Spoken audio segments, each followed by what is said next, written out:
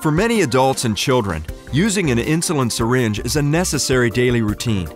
To a first timer, it can be a scary undertaking, but with some practice and knowledge of basic facts and safety requirements, it can be a simple and easy process. It is important you give the right type of insulin and the right amount of insulin. Most people are on more than one type of insulin. Make sure you have the correct vial of insulin. Very important, to always use a new syringe for each dose. An insulin syringe can come in three different sizes that each hold different amounts of insulin. Make sure you understand the markings on your syringes so you do not give the wrong amount of insulin. You will need an insulin syringe, insulin, an alcohol pad, and a Sharps container. Wash your hands with soap and water thoroughly.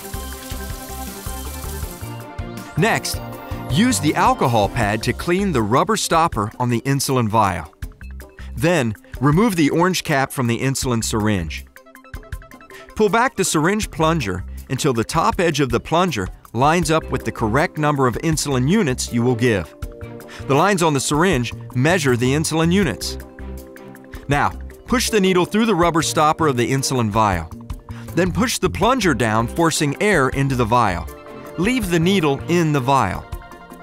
Turn the vial and syringe upside down and hold together in one hand at eye level. Using the other hand, pull plunger down to the unit line slightly beyond the dose of insulin you will give.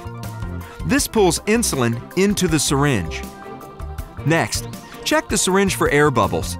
Small bubbles are not dangerous, but take up space, preventing you from getting your full insulin dose.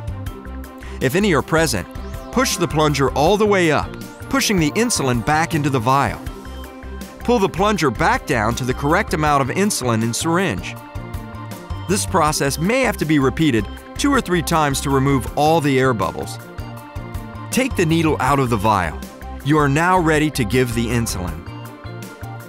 Taking the time to learn these important steps is necessary, but with routine practice, you will gain confidence.